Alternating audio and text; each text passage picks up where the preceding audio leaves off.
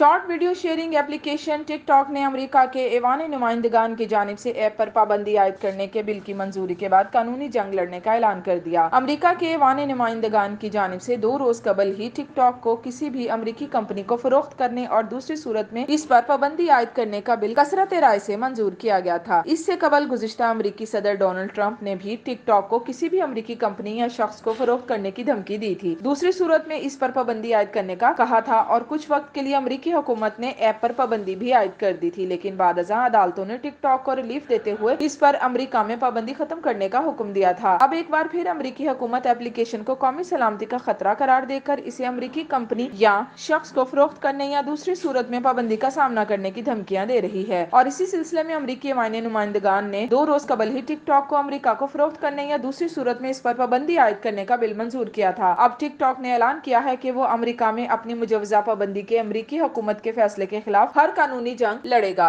اقتصادی جریدے financial Times کے مطابق امریکہ میں ٹک ٹاک کے سربراہ نے اپنے ملازمین کو بھیجے گئے میمو میں ایوان نمائندگان کی جانب سے منظور کیے گئے بل کو امریکی ٹک ٹاک صارفین کے حقوق کے خلاف ورزی قرار دیتے ہوئے قانونی جنگ لڑنے کا اعلان کیا۔ ٹک ٹاک کے عہدیداران کا کہنا تھا کہ کمپنی اپنی مجوزہ پابندی کے خلاف تمام قانونی محاذوں پر اپنا دفاع کرے۔ گی رپورٹ میں بتایا گیا کہ اگر ٹک ٹاک کو تمام قانونی محاذوں پر ناکامی ملی تو بعد میں کمپنی اپلیکیشن کو فروخت کرنے کا فیصلہ کرے گی، لیکن اس کے لیے ٹک ٹاک کو پہلے چینی حکومت سے منظوری لینی پڑے گی اور چینی حکومت پہلے ہی اس بات سے انکار کر چکی ہے کہ ٹک ٹاک کو فروخت